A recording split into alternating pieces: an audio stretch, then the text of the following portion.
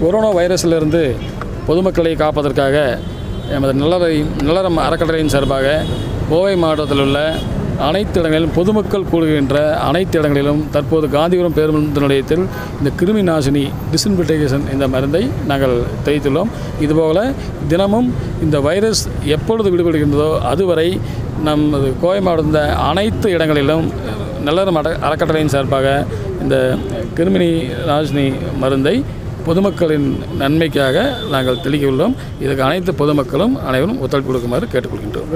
விழிப்புணர்வு ஏதாவது பண்ணுறீங்களா சார்? பொதுமக்கள் அனைவரும் அரசாங்கம் கூறுவதைப் போல அதிகம் இடத்தில் கூடாமல் அடிக்கடி கைகளை துடைத்து கொண்டு மிகவும் சுத்தமாக அவர் வீட்டில் உள்ள அனைவரையும் வைத்திருக்க வேண்டும். அதே போல் நீங்கள் யாருக்கும் கை ஷேக்கன் கொடுக்க வேண்டியதே இல்லை. நீங்கள் நம்ம தமிழ் முறைப்படி அனைவருக்கும் வணக்கம் சொன்னால் அது மிகவும் சேஃப்டியாக இருக்கும் என்று கேள்வி